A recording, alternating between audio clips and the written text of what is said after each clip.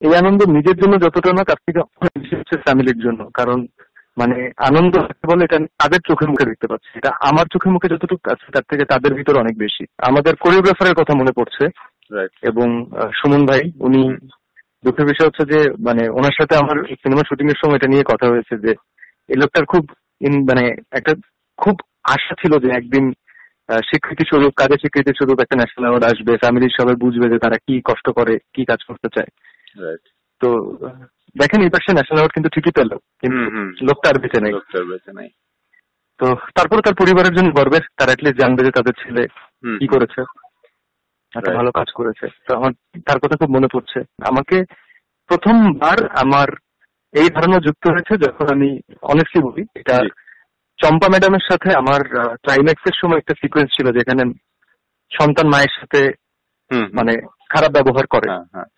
এবং ওই সিকোয়েন্সটা আসলে আমার জন্য টাফ ছিল কারণ মানে এত সিনিয়র আর্টিস্ট একজন আমার সাথে অভিনয় করতে পারতেই তো একটা অনেক বড় অ্যাচিভমেন্ট আমার মনে হয়। এবং উনি আমাকে উনি শটটা শটের আগে আমি একটা ব্রেক নিয়েছিলাম প্রায় আধা ঘণ্টার মতো একটা ব্রেক নিয়েছিলাম। তো তারপরে আমি শুটিং সেটে এসেছি এসে আমি কারোর সাথে কোনো কথা বলিনি বলেছি যে রোল হলে আমাকে জানাতে। আচ্ছা। তো আমরা তখন শটটা শেষ করেছি এবং শটটা শেষ হওয়ার পরে লাস্ট পর্টটাতে এমন থাকবে যে আমি আমাকে কথা দিয়ে চম্পা ম্যাডামকে তার দাঁড়ানো অবস্থা থেকে তাকে মাটিতে ফেলে দিতে হবে। কিন্তু কথা দিয়ে এতটা অপমান করতে হবে যে মায়ের সেই ভেতর থেকে কোথায় খারাপ লাগাটা থাকে তখন। তো ওই সিকোয়েন্সটা শেষ হওয়ার পর উনিও কিছুক্ষণ স্তব্ধ ছিলেন, আমিও চুপচাপ ছিলাম একটু।